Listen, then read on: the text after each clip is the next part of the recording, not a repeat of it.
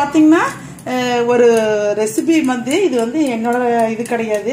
இது எங்கள் அண்ணன் ஒய்ஃப் வந்து இந்த இந்த ரெசிபி அவங்க நான் எங்கள் அம்மா வீட்டுக்கு போயிருந்தேன். அவங்க இது செஞ்சாங்க. எனக்கு ரொம்ப ரொம்ப பிடிச்சிருந்துச்சு. அதனால் இதை நான் நான் ட்ரை பண்ணலான்ட்டு இன்றைக்கி என் குழந்தைகளுக்கு. அதனால் இப்போ நான் ட்ரை பண்ணுறேன் முட்டை வந்து ஒரு ஏழு முட்டை வந்து உடச்சி ஊற்றிருக்கிறேம்மா உடச்சி ஊற்றி அதில் உப்பு போட்டாச்சு. சரிங்களா? சால்ட்டு போட்டுட்டு இதில் லைட்டாக பெப்பர் பொடி போட்டுக்கலாம். சரிங்களா? பெப்பர் பொடி போட்டு கொஞ்சமாக போட்டுட்டு லைட்டாக ஏன்னா ஏற்கனவே வேற காரம் சேர்த்த போகிறோம் அதனால பெப்பர் பொடி போட்டுக்கலாம். பீட் பண்ணிக்கணுமா நல்லா? இது பாருங்க. நல்லா பீட் பண்ணியாச்சு. சரிங்களா? நல்லா பீட் பண்ணிட்டு இப்போ இந்த மாதிரி லஞ்ச் சத் நம்மளுக்கு இந்த மாதிரி பாக்ஸ் ஒன்று வேணும்.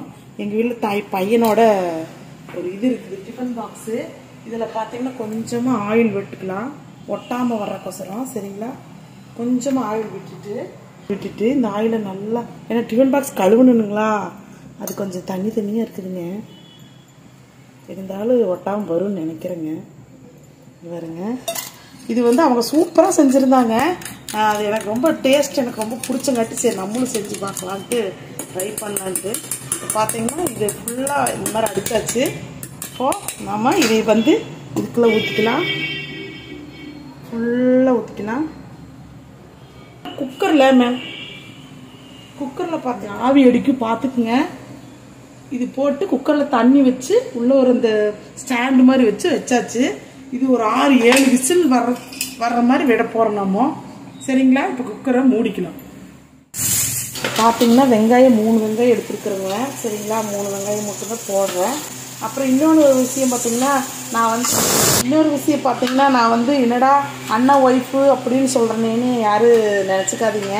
ஏன்னா எங்கள் தாய் மாமன் பொண்ணு தான் அவங்க நான் சின்ன வயசுலேருந்து அவங்க தூக்கி வளர்த்துனவன் நான். கொஞ்சம் வயசு வித்தியாசம்லாம் இருக்குது அதனால தான் நான் வந்து அப்படி சொன்னேன். மற்றபடி அண்ணின்னு சொல்லக்கூடாதுங்கிறது இல்லை என்னை விட சின்ன பிள்ளை ரொம்ப ரொம்ப சின்ன பிள்ளை. அதனால தான் அப்படி சொன்னேன். அவங்க பார்த்தீங்கன்னாங்க நம்மளாம் ஏதோ ஒரு டிஷ்ஷு செய்வோம். அதே மாதிரி டிஃபன்னா ஒரு தோசையோ தோசைக்கு ஒரு ரெண்டு சட்னி அரைப்போம். அவங்க அப்படி கிடையாதுங்க. அவங்க வந்து சமையல் அரசி ஓகேங்களா? அவங்க வந்து சுடுதண்ணி கூட வைக்க தெரியாமல் தான் எங்கள் வீட்டுக்கு வந்தாங்க. ஆனால் எங்கள் அம்மா கற்றுக் கொடுக்கலைங்க. அவங்களுக்குள்ள என்ன வந்து உள்ளே பூந்துச்சுன்னு தெரியல எங்களுக்கு. நாங்கெல்லாம் மிரடுற அளவுக்கு சாப்பாடு செஞ்சு போடுவாங்க ஒவ்வொரு நேரமும். அவங்க பார்த்தீங்கன்னா நான் இப்போ ஒரு வாரம் போய் அவங்க வீட்டில் தங்கியிருந்தேங்க அம்மா வீட்டில் போய் இருந்தேனுங்க ரொம்ப வருஷமாக தங்கியிருந்தேங்க. ஒரு இந்த ஒரு வாரம் போய் தங்கியிருந்தேங்க. அப்போ அவங்க பார்த்தீங்கன்னா பொதுவாகவே இத்தனை வருஷமாகவே அவங்க வந்து எப்போ நான் போனாலும் எனக்கு ஒரு சின்ன வேலையும் கூட செய்ய செய்ய விட மாட்டாங்க. உட்காந்து கடையிலேயே சாப்பிட்டு போட்டு வருவேங்க. ரொம்ப நாள் இருந்தோம்னா ஒரு சுத்து பெருத்தே தான் வருவேன். ஒரு வாரம் தான் இருந்தேங்க. அதுலேயே கொஞ்சம் ஒரு பெருத்த மாதிரி தான் இருக்கிறேன் நான். ஆனால் ரொம்ப ரொம்ப சூப்பராக டிஷ் செய்வாங்க. ஒரு காலையில் பிரேக்ஃபாஸ்ட்டுக்கே பார்த்தீங்கன்னா ஒரு மூணு நாலு ஐட்டம் இருக்கும் அந்த மூணு நாலு ஐட்டத்துக்கு மூணு நாள் சட்னி அரைப்பாங்க.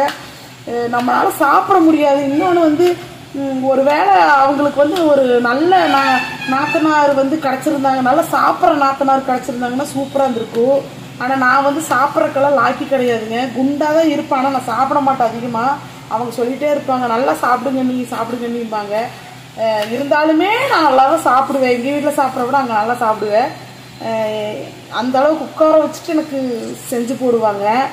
எனக்கு அதெல்லாம் ரொம்பவே மன நிறைவாகவும் நெகிழ்ச்சியாகவும் இருக்குது ஏதோ ஜென்மத்தில் ஏதோ புண்ணியம் செஞ்சுருக்கு. எல்லா பெண்களுக்கும் இது கிடைக்காது. எனக்கு தான் இது கிடச்சிருக்குது. இது பாருங்க அவங்க டிஷ் தான் இது. இவ இவங்க அவங்க வீட்டில் பொதுவாக எங்கள் அப்பாவுக்கு அண்ணனுக்கெல்லாம் வந்து தக்காளி வந்து புளிப்பு ஆகாது. எனக்கு புளிப்பு ரொம்ப பிடிக்குங்க. சரிங்களா? அதனால் நான் தக்காளி போட்டுட்டு வெங்காயம் மூணு தக்காளி நாலு போட்டுருக்குறேங்க. போட்டு இதில் வந்து கொத்தமல்லி கருகாப்புத்தலையெல்லாம் போட்டு நல்லா வணக்கிட்டு கரம் மசாலாவெல்லாம் போட்டு இந்த இந்த டிஷ் இருக்குது இல்லைங்க அது வெந்ததுக்கப்புறம் அது பொடி பொடியாக அரிஞ்சு இதுக்குள்ளே போட்டு நல்லா கிரேவி பதத்துக்கு கொண்டு வரணும். இப்போ ஒன்றா செய்ய போகிறேன் பாருங்கள் எண்ணெய் விட்டாச்சுங்க. எண்ணெய் விட்டுட்டு கடுகு போடுறேங்க கொஞ்சம். வரணுங்க கண்ணாடி பழுத்துக்கு வரணும். பாருங்க. எப்படி வெந்திருக்குது பாருங்க முட்டை. நல்லா வெந்திருக்குது. இது அப்படியே பாத்திரத்தில் தொட்டி கட் பண்ணணும். வச்சுங்க தக்காளி போட்டோம்னா இப்போ இதில் வந்து ஏற்கனவே நம்ம உப்பு போட்டுட்டோம். அதனால் கொஞ்சமாக போடுறேன். வெங்காயம் வணங்குறதுக்கோசரம் தக்காளி வணங்குறது போடுறேங்க. ஏன்னா ஏற்கனவே ஒரு முட்டையில் இருக்குது எச்சா போட்டு கரிச்சிருச்சுன்னா அப்புறம் ரொம்ப போயிடும். என்ன போட்டு போட்டாச்சு.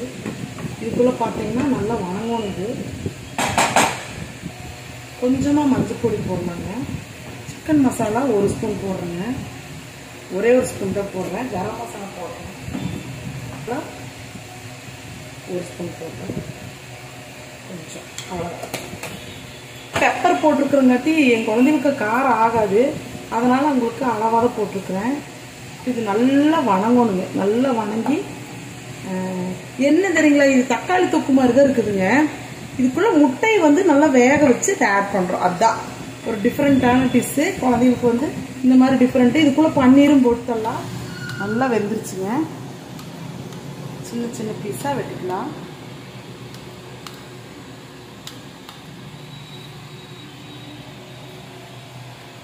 பார்த்தீங்கன்னா இது பன்னீர் மாதிரி தான் இருக்குது. நீங்கள் பன்னீர்லாம் செஞ்சுருந்தீங்கன்னா உங்களுக்கு தெரியும். பன்னீர் அதற்கு தான் இருக்குது. பாருங்களேன். பன்னீர் மருந்து இருக்குது பார்க்குறதுக்கு இது நல்லா இருக்குதுங்க பார்க்குறக்கு கொஞ்சம் நிறைய ஃபே பெரிய ஃபேமிலியாக இருந்ததுன்னா கொஞ்சம் நீங்கள் பீஸுகளை இன்னும் கொஞ்சம் ஜாஸ்தி பண்ணுங்கள் ஏழு முட்டுக்கு இவ்வளோ வந்திருக்குது. பாருங்க எப்படி இருக்குது நல்லா சூப்பராக இருக்குது. இப்போ பாருங்க மக்களே இது பார்த்தீங்கன்னா நல்லா வெந்துருச்சுங்க. நான் கிரேவி மாதிரி வந்துச்சு. இதுக்குள்ளே நான் நல்ல மசாலா போட்டுக்கிறோம். இது அப்படியே இது போட்டு பன்னீர் மாதிரியே இருக்குது பாருங்களேன். ரொம்பவே போட்டு கிளறு கிளறு கிளறக்கூடாது. உடஞ்சிரும்.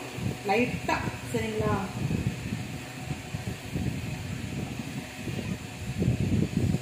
இப்போ பார்த்தீங்கன்னா இது வந்து பன்னீர் மாதிரி தான் இருக்குது. நீங்கள் புதுசாக முட்டை பொரியல் முட்டை ஆம்லேட்டு ஆஃப் ஆயில் போட்டு கொடுக்குறதுக்கு இந்த மாதிரி புதுசாக நீங்களும் ட்ரை பண்ணி பாருங்கள் எனக்கு இது ஒரு புது அனுபவமாக இருந்தது. நான் சாப்பிட்டங்காட்டி என் குழந்தைகளுக்கு வீட்டில் வந்து செஞ்சு கொடுத்துட்டேன். நீங்களும் செஞ்சு ட்ரை பண்ணி பாருங்கள் சரிங்களா? பார்த்தீங்களா சப்பாத்தி தோசைக்குங்க. தோசைக்கு நம்ம இது ஒரு வாய் எடுத்து முட்டையில் செஞ்சதுங்க இது வந்து பாசிப்பருப்பு குழம்பு. ரெண்டு மிக்ஸ் பண்ணியாச்சு.